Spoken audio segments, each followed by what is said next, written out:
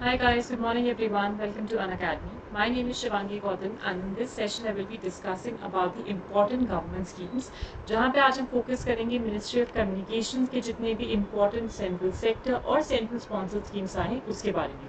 ये जो हमारी सीरीज़ स्टडी है revise in ten minutes every single day we come up with new government schemes जो भी मिनिस्ट्री ऑफ़ कम्युनिकेशन अलग अलग जितने भी यूनियन मिनिस्ट्रीज हैं उससे रिलेटेड होते हैं Before I begin the session, just a quick quick reminder about the Unacademy special classes. क्या फीचर है? हम किस तरीके से लेकर आए हैं? In what way we will be working so coming to the part of it 12 अगस्त यानी आज हम लोगों की स्पेशल uh, क्लास होगी सवा नौ बजे wherein we will be having the mock test on Indian polity for UPSC CSC prelims जो भी आज ये वाला मॉक टेस्ट होगा उसका 8 पीएम पे we will have the YT session also जहाँ पे आज मैं नॉन कॉन्स्टिट्यूशनल बॉडीज जो जो है उसको कवर करूँगी। अब अगर हम स्पेशल क्लासेस की बात करें अन की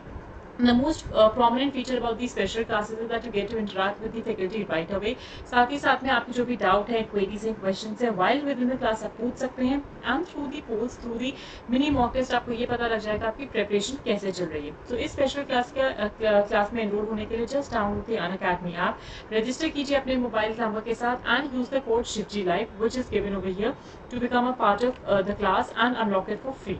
moving ahead अगर हम बात करें about the ministry of communication तो कौन से कौन से मेजर स्कीम्स हैं जो मिनिस्ट्री ऑफ़ कम्युनिकेशन लेकर आई है? पहला हमारे पास जो स्कीम है the PLI scheme for promoting telecom and networking product as continuously we have discussed a lot of PLI schemes over the past few days, ये जो भी हमारा प्रोडक्शन लिंक इंसेंटिव स्कीम होता है this works through the EGOS एक empowered group of secretaries बनाया गया है which is which is headed by the cabinet secretary ये जो कैबिनेट सेक्रेटरी होते हैं, ये देखते हैं किस तरीके से ये स्कीम पे काम कर रहे हैं, किस तरीके से हम डोमेस्टिक प्रोडक्शन को बूस्ट कर सकते हैं अलग अलग एरियाज़ में, किस तरीके से हम देख सकते हैं कि इंडिया में जो डोमेस्टिक मैन्युफैक्चरिंग है उसके लिए हम लोग इन्वेस्टमेंट को कैसे अट्रैक्ट कर सकते हैं? सेम स्कीम को हम लेकर आए हैं वेरन ये जितने भी पीएलआई स्कीम्स है, तेरह अलग अलग सेक्टर्स के लिए इसको लॉन्च किया गया था। The one that is been launch here for telecom and networking product focus करेगा कि किस तरीके से हम टारगेट सेगमेंट्स जो है टेलीकॉम के नेटवर्किंग प्रोडक्ट्स के उस पर फोकस कर पाए, वहाँ पे मैन्युफैक्चरिंग जो डोमेस्टिक मैन्युफैक्चरिंग है, उसको बूस्ट कर पाए इन्वेस्टमेंट को अट्रैक्ट कर पाए एंड एंकरेज कर पाए मेक इन इंडिया को। जो भी गवर्नमेंट का प्रोस्पेक्टिव था मेक इन इंडिया स्कीम को लेकर उसको हम किस तरीके से और प्रोत्साहन दे सकते हैं। उसके लिए हम लोगों ने पीएलआई स्कीम को लॉन्च किया है। दूसरा चीज़ इंडिया का जो डिपेंडेंस है ऑन इम्पोर्ट उसको हम कैसे रिड्यूस कर सकते हैं कि अगर हम टेलीकॉम के रिलेटेड कोई भी पार्ट्स है नेटवर्किंग प्रोडक्ट्स है, अगर हम उसको इम्पोर्ट करते हैं, उस पर हमारी डिपेंडेंसी हम कैसे कम कर सकते हैं? ये स्कीम एमएसएमई नॉन एमएसएमई दोनों के लिए खुली हुई है। दैट सिंपली मीन जितने भी माइक्रो स्मॉल और मीडियम एंटरप्राइजेस हैं, उनके लिए खुली हुई है। जो डोमेस्टिक कंपनीज़ है ग्लोबल कंपनीज़ है, उनके लिए भी ये स्कीम ओपन है। बस एक एलिजिबिलिटी क्राइटेरिया होना चाहिए। तो eligibility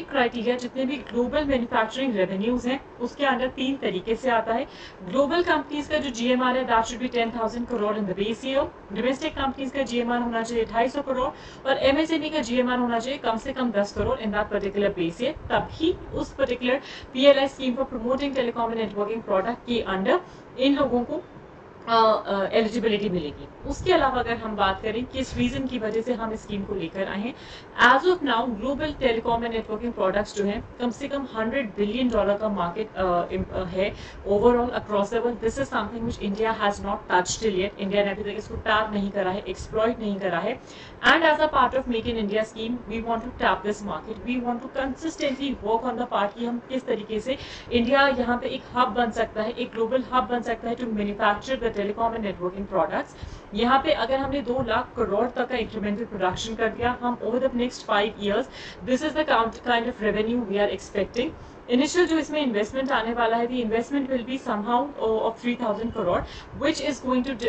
generate a lot of direct and indirect employments तो इससे दो काम होने वाले हैं। पहला पार्ट इंडिया का जो इम्पोर्ट डिपेंडेंसी है, वो कम हो जाएगा, ताकि हम लोगों का जितना भी खर्चा जाता है बाहर के कंपनीज़ में, बाहर से चीज़ें लाने में, वो कम हो जाएगा। दूसरा चीज़, हमारे यहाँ जितनी भी एम्प्लॉयमेंट अपॉर्चुनिटीज़ है, उसको एक बूस्ट मिलेगा एज अ इनिशिएटिव या as a part of the make in India scheme in दो मेजर रीजन की वजह से इंडिया को डोमेस्टिक हब बनाया जा रहा है, जहाँ पे हमारे मैन्युफैक्चरिंग डोमेस्टिक मैन्युफैक्चरिंग सेक्टर को इंश्योर किया जा रहा है कि हम इसको कितना ज़्यादा से ज़्यादा बढ़ा पाए, ठीक है? Moving ahead to the second scheme we have the Bharat Net project scheme तो भारत नेट प्रोजेक्ट स्कीम किस रीजन की वजह से लाए हैं? नाम ही जैसे बताता है अक्रॉस इंडिया जितने भी विलेजेस हैं हिंदुस्तान में 2022 तक वहाँ पे हम ब्रॉडबैंड एक्सेस देना चाहते हैं।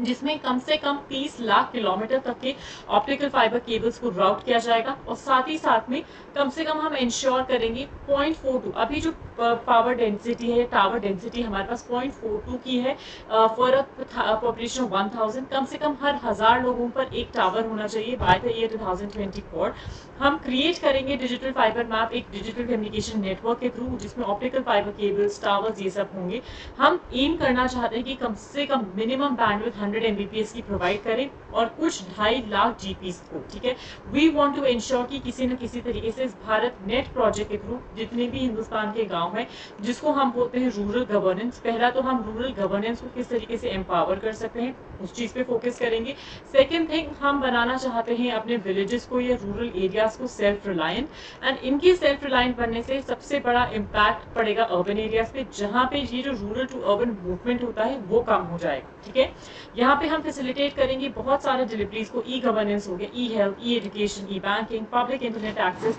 B to B P to P B to C weather agriculture other services rural India में किस तरीके से इन सबको हम फैसिलिटेट कर सकते हैं डोर स्टेप तक एक एक सर्विस को पहुँचा सकते हैं। इसको इम्प्लीमेंट करने के लिए एक स्पेशल पर्पस व्हीकल को लेकर आया गया है by the name of Bharat Broadband Network Limited which will be working directly under the Department of Telecommunication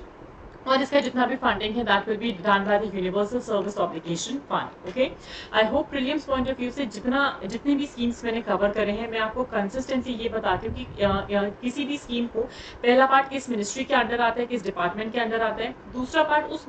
scheme का एम क्या है ऑब्जेक्टिव क्या है, भाई किस रीजन की वजह से हमने उसको लॉन्च करा? तीसरा पार्ट सेलियंट फीचर्स और बेनिफिशरीज कौन से कौन से हैं? क्या फीचर है उस स्कीम का, दो से चार पॉइंट कौन से कौन से बेनिफिशरीज हैं? ताकि हमको ये क्लैरिटी रहे किस तरीके से कोई भी स्कीम फ़ंक्शन कर रही है, ठीक है? उसके बाद अगर हम बात करें भारत नेट प्रोजेक्ट की तो ये तीन फेजेस में काम करेगा। किस तरीके से हम इसको काम कर पाएँगे और ये किस तरीके से वर्क करेगा? तो पहले हमारे यहाँ आया था National Optic Fibre Network Bharat net project उसी का आप बोल सकते हो, एक नामकरण हुआ है। यहाँ पे अगर हम बात करें, तीन फेजेस हैं। We have the first phase second phase and the third phase coming to the first phase envisage किया जाएगा कि किस तरीके से one lakh gram panchayat broadband connectivity को ले डाउन करेंगे अंडर ऑप्टिकल फाइबर केबल्स ये डेडलाइन थी जो इकतीस दिसंबर 2017 तक अचीव होनी थी। सेकेंड फ़ेज़ में ये बोला गया कि कम से कम ढाई लाख पंचायत को एक ऑप्टिकल मिक्स दिया जाएगा अंडरग्राउंड फाइबर का फाइबर पावर लाइंस का, जो कि 2019 तक कंप्लीट हो गया था। थर्ड फ़ेज़ में 2019 से 2023 तक जो जाएगा state of the art infrastructure देंगे। Future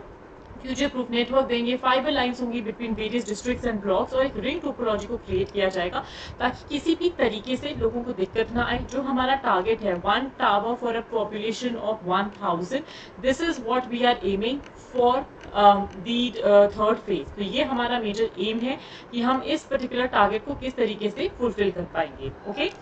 this was the part guys from my end in this particular class I hope आपको सारा कुछ समझ आ गया होगा specifically related to ministry of communication question कौन से कौन से important central sector central sponsor schemes आए हैं? किसी का कोई भी डाउट मेरी question confusion I at any point of time in the session pin me in the comment section I help you with the same see you in the next session I hope you guys have a wonderful day I thank you so much